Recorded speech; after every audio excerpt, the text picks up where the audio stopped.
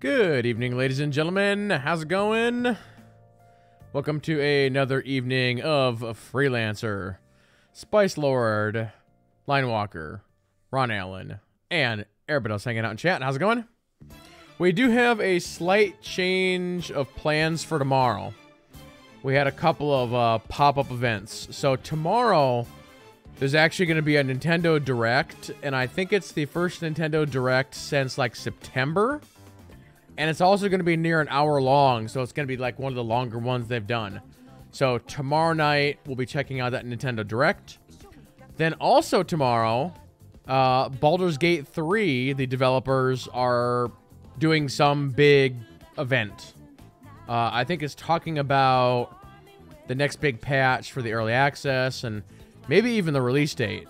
Uh, I don't know how long that's going to be, so we're going to watch that as well. So essentially, tomorrow's stream might just be watching those two events, and that'll be all our time.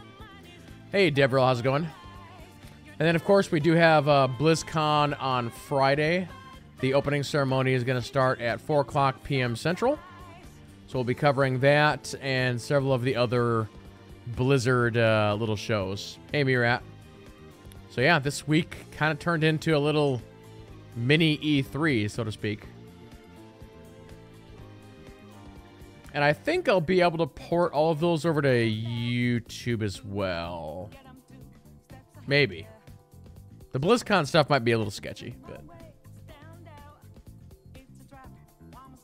Yeah, we'll see. Oh, yeah, I heard about the... Um, I heard about that Line Walker. They actually released a video as well, but I haven't had a chance to watch it yet.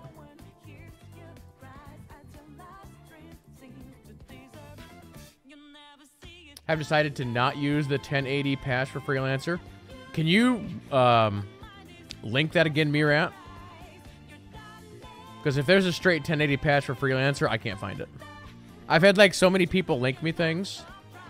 That's like gotten lost. I know that New World, uh, which is the Amazon MMO, decided to uh, delay their game again. Actually, you know what? We could just watch that announcement right now since I have not seen it. Let's just do that.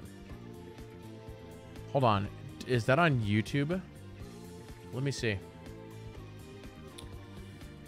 Uh, New World.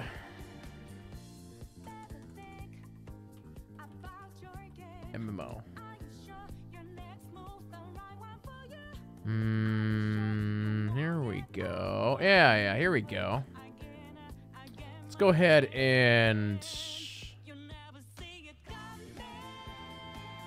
Ready, chat? No, no, Persona. Turn you down. Okay, yeah, let's watch, uh, watch this real quick. All right, do you like right there. Click that button. Okay, what do we got?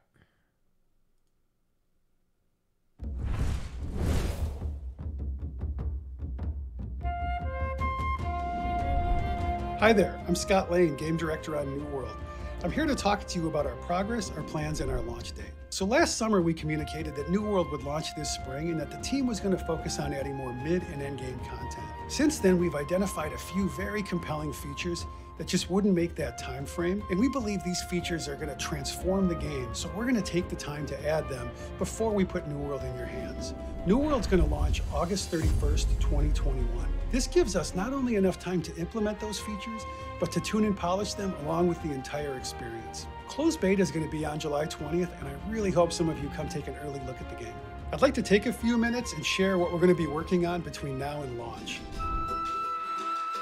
First, we're adding another endgame zone, Ebonscale Reach. This is a territory of lush wetlands and towering cliffs. Very Japanese. Where an exiled empress is building a corrupted fleet that could be a threat to the entire world.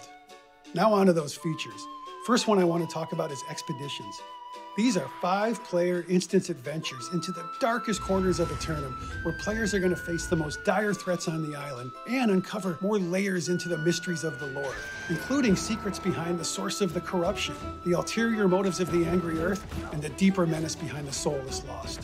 So now I'd like to tell you just a little bit about Outpost Rush. Outpost Rush is an endgame mode that calls players to a primordial river basin filled with forgotten ancient technologies and hidden sources of the powerful and volatile Azoth.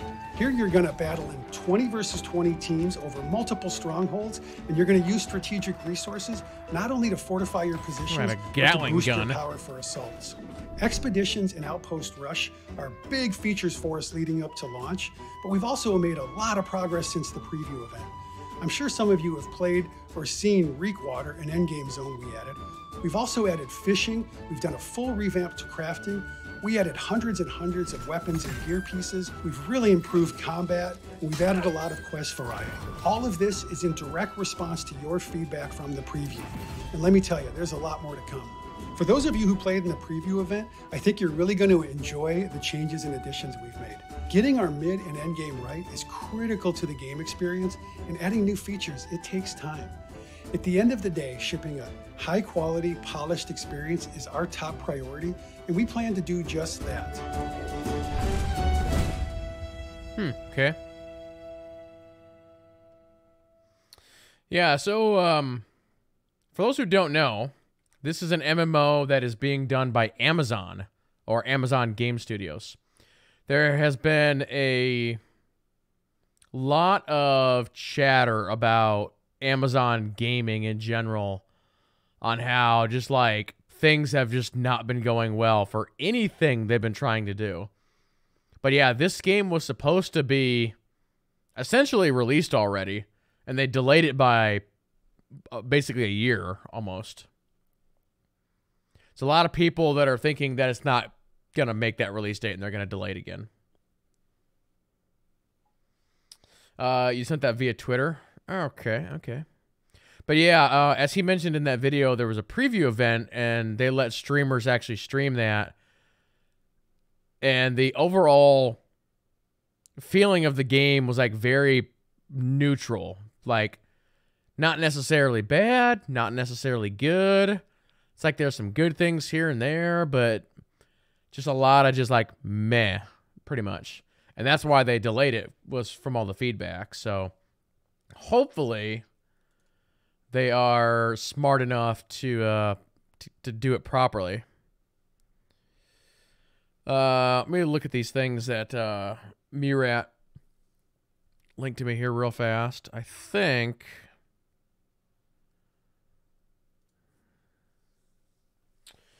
Oh boy.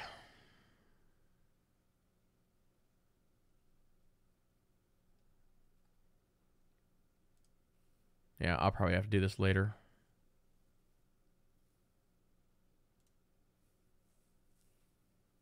Okay. Well, the funny thing about that, Murat, is I've been trying to do a bunch of research because I, I do have some mods installed now. And when I tried to research like resolution mods or anything like that, I found nothing except for some stuff on Reddit where people are saying the only way to do it is to go into like the INI, INI files and mess with that stuff. So I'm a little bit curious as to why these items don't pop up on a normal search and are not like on any of the major modding sites that I've seen. Kind of interesting.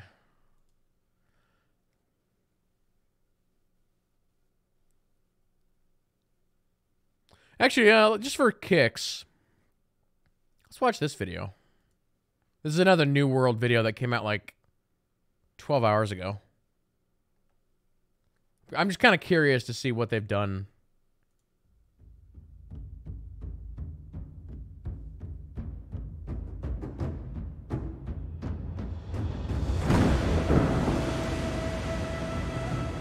New World's an open world MMO set in an alternate version of the 17th century. It takes place on an island we call Aeternum. It's a place of legend. It's a land of power and of treasure. It's a place where your choices matter. You get to live a life that is full of danger and adventure on a supernatural continent that has only just been discovered.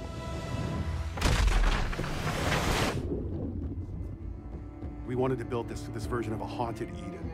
We wanted beautiful picturesque landscape. Yeah, it definitely looks nice. Danger around every turn. There's these hints of supernatural and these things that show you you're not really anywhere you've ever seen before. Contrast is something that we really want players to feel as they move around the world. Every space they enter feels different and special from the space behind it. They feel like every hill they're going over, there's a new adventure. Not many people know too much about Aeternum yet. I think that's where you come in as a player. And there are threats, but there's also opportunity. Rumors swirl about the power and danger of the island, but the people who go there don't really know what they're going to find. It could be Shangri La, or it could be something out of their worst nightmares. The thing that gives Aeternum this, this power and makes it supernatural and special is there's this mineral that runs below the earth. and It's called Azoth, and it's known to have magical properties. Azoth can amplify things. Azoth itself is, is not really a good or bad necessarily. It's just hmm. this pure, raw energy. Azoth has Well, there's to a change undead deer. It makes things more beautiful. and deadly. Azoth is different for everyone who sees it or knows about it. For some, it's the Fountain of Youth.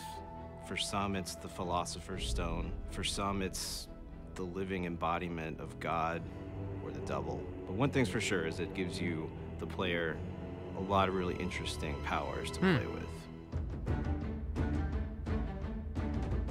When players arrive in Aeternum, they find evidence of other civilizations having been trapped there throughout history.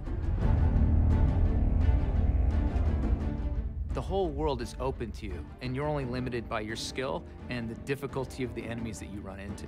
It's completely classless. So you choose how you want to play by choosing the equipment, and the weapons you choose also defines your play style. Players will have a lot of freedom to choose what they do and how they do it. One of the I forgot about that. tenets New World has always been autonomy, and that manifests in every single system in the game. The game adapts to the player and their play style. Want to become the best blacksmith or the best sword fighter? The progression system supports that. They just have to keep doing what they do best. There's multiple settlements all over the world, and the corruption is always this invasive, aggressive force that's constantly trying to push back, trying to drive players out. The corrupted have massive armies growing in the north, and some of their influences are beginning to trickle down to the south, where players are trying to build their homes. And they have a very particular idea of how the power of Aeternum should be used. The world is going to push back against you in, in a couple of interesting ways. For one thing, as you grow more powerful and you head deeper into the world, obviously there's going to be resistance to come up and meet you. But one of the most exciting things about the game is that as you and other players begin to form settlements and you begin to push back the things in the woods, they'll come for you. You're gonna find some really interesting battles that have to get fought in order to keep your foothold in this world.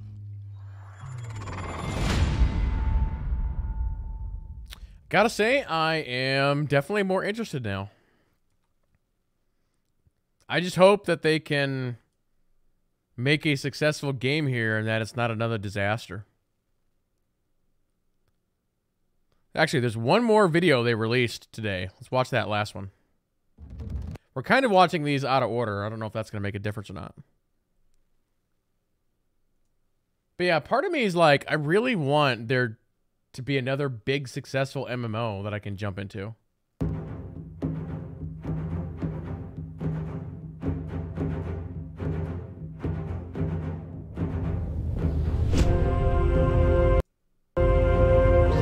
Say, why am watching this in 480? What awaits players when they first land on Aeternum is a new discovery of a new world. When you first arrive on Aeternum, you're gonna be kind of at ground zero. Your ship has crashed. There's nobody around who's on your side. Pretty soon, you're gonna start to meet other players, and you're gonna start to understand that life on Aeternum is very much a band together or die alone situation. When we created Aeternum, I will die we wanted alone. to design and create a vast, explorable world. Players will quickly realize that nothing ever really dies in this island. No soul can leave the body. It is the magical resource that grants the power of immortality, and it is called Azoth. Wouldn't it be crazy if they created a hardcore MMO where if you actually died, you actually come back as the enemy and you have to stay as the enemy for the rest of the game. One of the things that makes Aeternum very dangerous is that there's a bunch of different factions there, and each one has their own objectives and desires, and they conflict with each other, but more importantly, they create big conflicts with the player and dangers for them. Alongside the corrupted, there's three other major enemy groups that exist.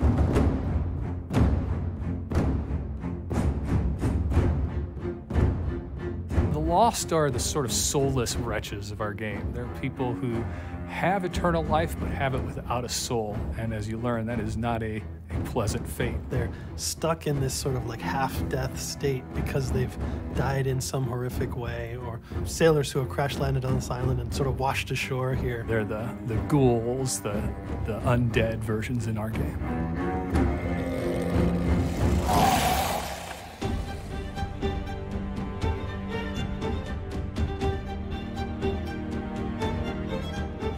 Earth is the pure, natural power of the island fighting back against the people who have come to corrupt it. It's almost like, feel like the these guys are island's kinda cool. defense system, and it will do whatever it can to expel these invaders. Nature is trying to imitate the form of humans or animals they see. And some are like more humanoid, but there's other ones that are more of like a constructed monstrosity. They mask themselves in order to fight back from what they consider is an infection. One of the civilizations that existed on Aeternum were known as the Ancients, and they had harnessed the power of Azoth. For the Ancients, they used it to power their technologies, and you'll see tributes to their society throughout the world. Something happened to the Ancients, and no one knows quite what happened. The remains of their civilization are there, and their secrets are there for you to discover. The character models all look really good. Aeternum, the world fights back through the corrupted. So the corrupted notice the player, they notice them getting stronger and building up their settlements, and then they fight back. They might blockade a road, you know, have a summoning portal, which portals lots of enemies of their type into the player's area. You can take one of the territories on Aeternum. You can ultimately grow your town to the point where not only the monsters in the woods want to take it from you, but other players as well. And when we have these massive wars over these territories, it's it's pretty special.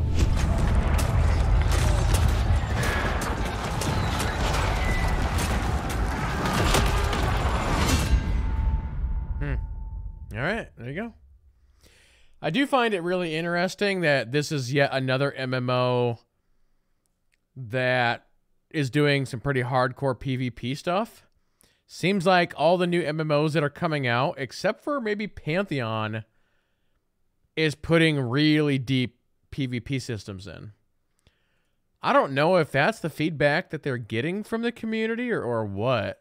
It's kind of kind of interesting. I'm willing to try it. I don't know. What do you guys think?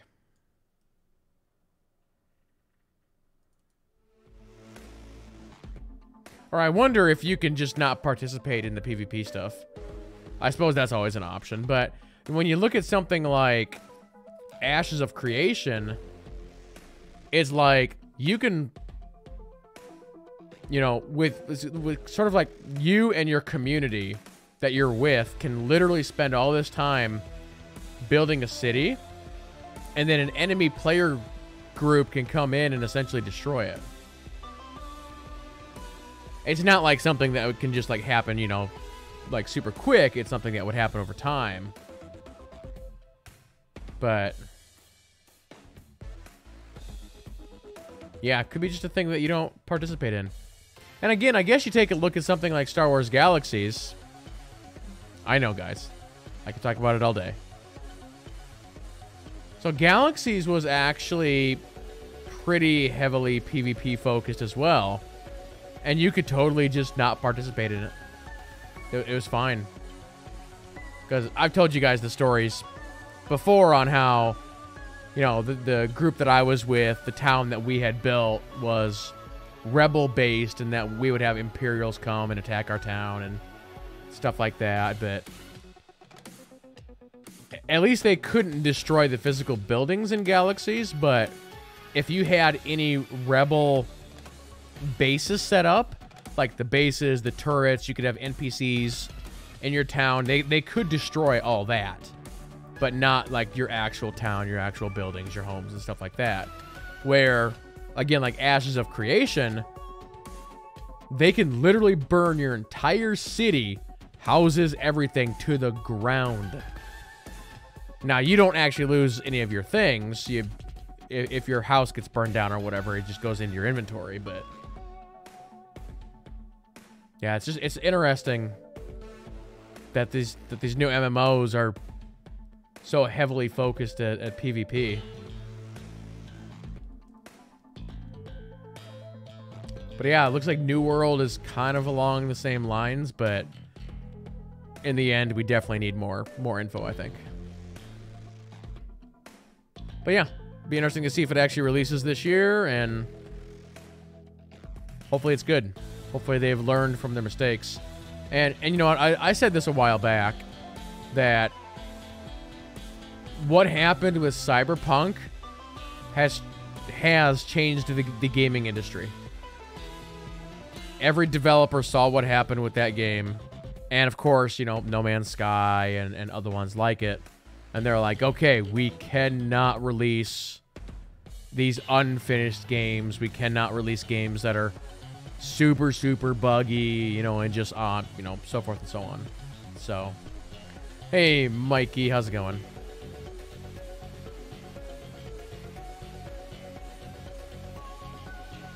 And the other thing to kind of remember about that is when you take a look at something like WildStar. Uh, WildStar was promoted as a super hardcore uh, MMO, like the the top of the top players, the best of the best, you know, in the rating and, and all that stuff. And then that that game launched and it failed because it turns out nobody actually wanted that, or at least not that many. But that was one of WildStar's downfalls. So hopefully the Amazon people are smart enough to look at that and make changes. It was definitely interesting, uh, like I mentioned earlier, that they did the the whole thing about letting people stream it like months and months ago. It was like it, last August or something like that. They let people stream that game, and they got so much feedback.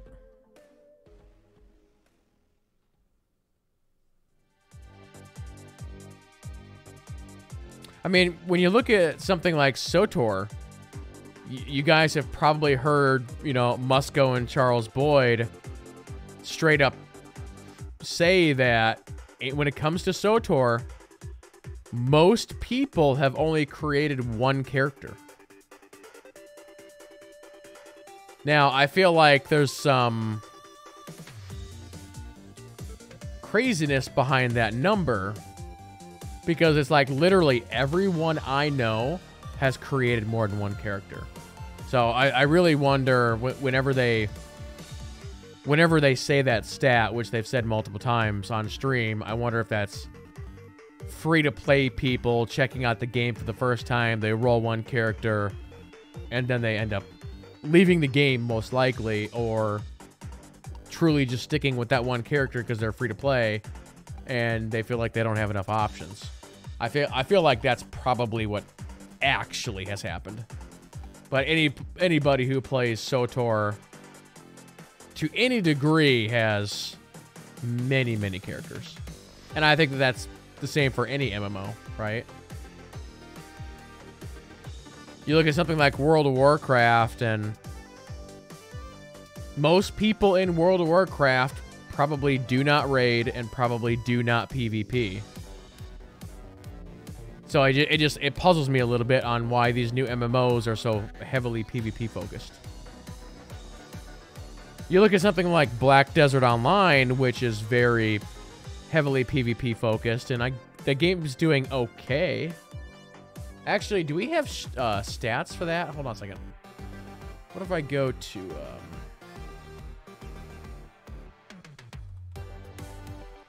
Steam charts.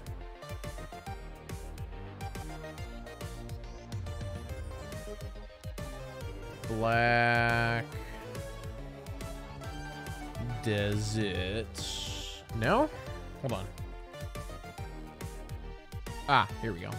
So right now, for Black Desert Online, there's 14,200 playing that game. The 24-hour peak is 17,779. The all-time peak is right at about 60,000.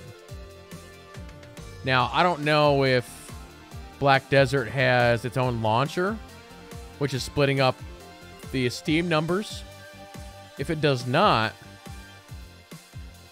then the peak all-time number for Black Desert is 60k. That's pretty low. Muret says yes, they do. Okay, so we're probably only getting like half numbers then. But still pretty interesting. Actually, I haven't looked in a while. What are the SWTOR numbers on uh, Steam these days? I just can't type in SWTOR because that doesn't exist.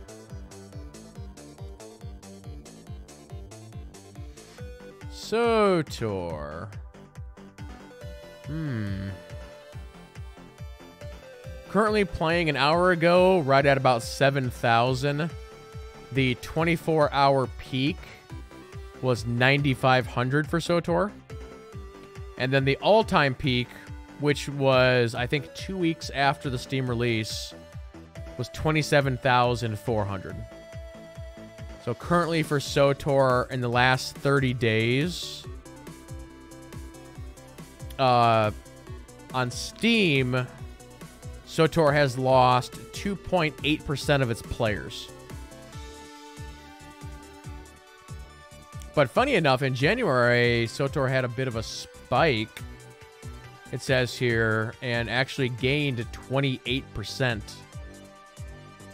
uh, average player base on Steam.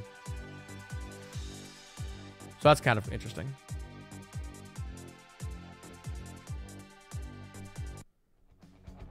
I always looking I always like looking at these numbers.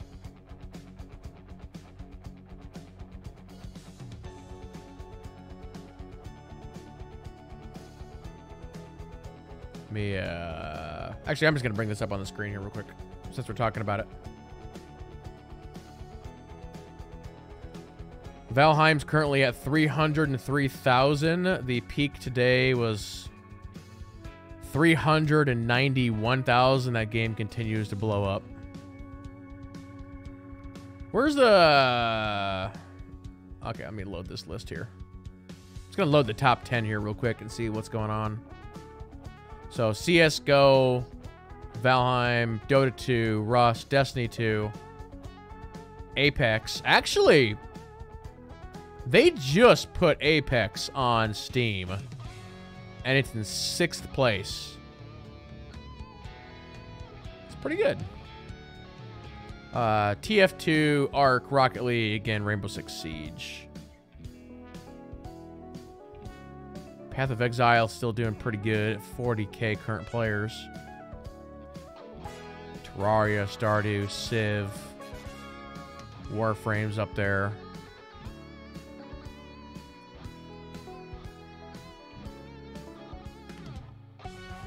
Skyrim. So here's here's ESO at 31. 19,003. Here's BDO. We're just kind of looking at MMOs. BDO at 14.8.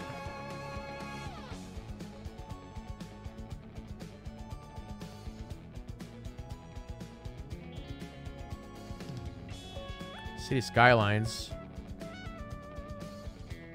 Factorio, there's Hades. Sims 4, which is new. To um, Steam, that is. Borderlands 3, Halo.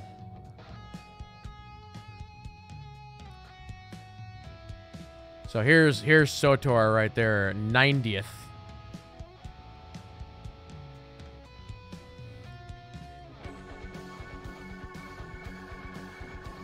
It's kind of it's kind of funny to be like all the games that are above SWTOR on the list.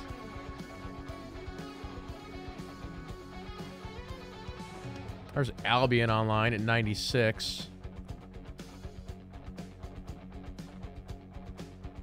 Wow, actually, that No Man's No Man's Sky uh, numbers are way lower than what I thought it would be. That's actually interesting.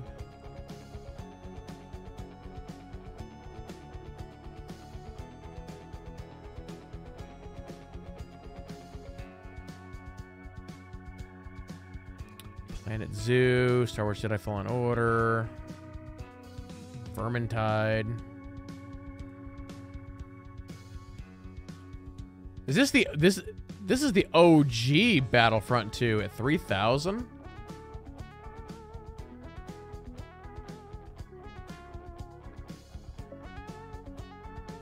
Good old Darkest Dungeon.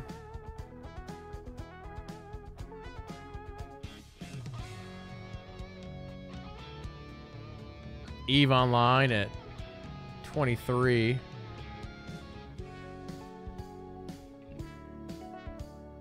Just looking to see if there's like any other MMOs here.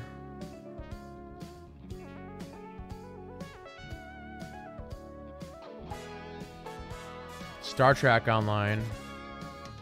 1900.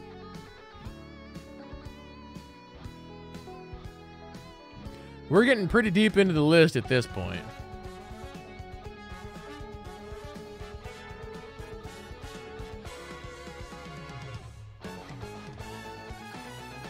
All right, well that's that's 250 chat. I think we'll stop at 250.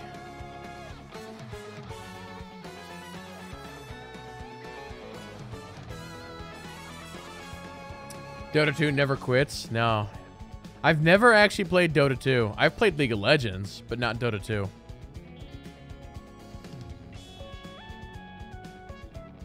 The Twitch client locked up on you? You know what? It's going to be really interesting. Um, Ark is another game that I've never played. And they've already announced Ark 2. Starring Vin Diesel. I don't know how many of you guys saw that. And they're also doing a an Ark animated series, which I think is on Netflix. With like an all-star cast. So that game could like really blow up when Ark 2 comes out. I mean, shoot, Ark 1 you know, top 10.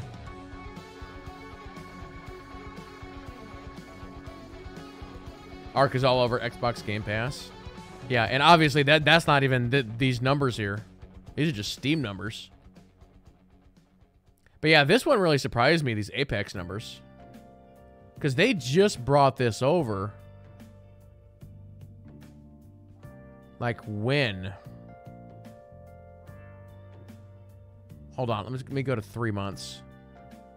Uh, let's go to a year. No, I can't. I, I can't even go back that far. When did it go online? I thought it was like here recently. Maybe it was longer than what I think it was.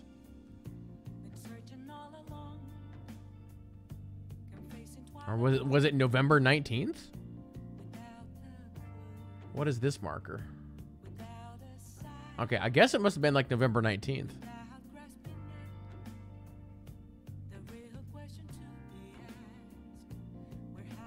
Interesting. I really like Apex. Apex is my favorite battle royale. I haven't played it in months. I, would like to get back into it.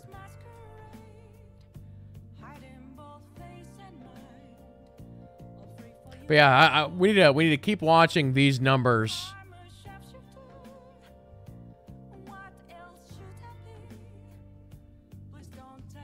Yeah, this this game has been live for like seven days or something like that. Maybe maybe a tad longer than that. What's this? February 9th? So yeah, actually maybe uh, yeah. February 9th was what? A week ago today. That's crazy. 2 million people have bought the game. But yeah, 391,000 playing at the same time.